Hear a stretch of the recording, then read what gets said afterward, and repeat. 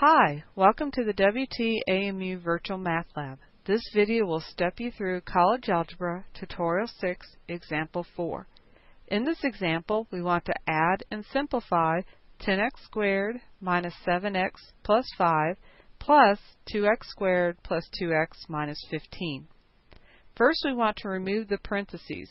If there is nothing directly in front of the parentheses, or there is just a plus sign in front of it, then the terms inside the parentheses will remain the same.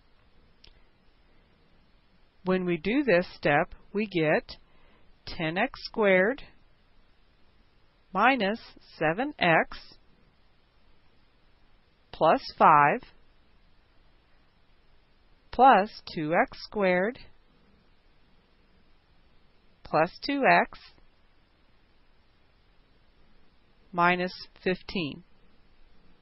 Next we want to combine our like terms together. We can add the 10x squared with the 2x squared and get 12x squared. We can also combine the minus 7x with the plus 2x and get minus 5x. And adding the 5 with the minus 15 we get negative 10. So our final answer is 12x squared minus 5x minus 10.